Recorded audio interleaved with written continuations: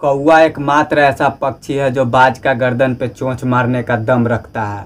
वह बाज का गर्दन पे बैठता है और बाज का गर्दन दबोच लेता है। बाज तब भी कौए से नहीं तो लड़ता है और नहीं अपना समय बर्बाद करता है। वो अपने पंखों को खोलता है और बस ऊँचा उड़ान उड़ने लगता है। उड़ान जितना अधिक ऊँचा होता है, उतना ही कम ऑक्सीजन होता है। ऑक्सीजन के कमी होने के कारण कौआ का गिरकर मौत हो जाता है और कौआ मर जाता है। दोस्तों, कहना चाहेंगे कि बाज की तरह पंखों को खोलिए और ऊँचा उड़ान उड़िए।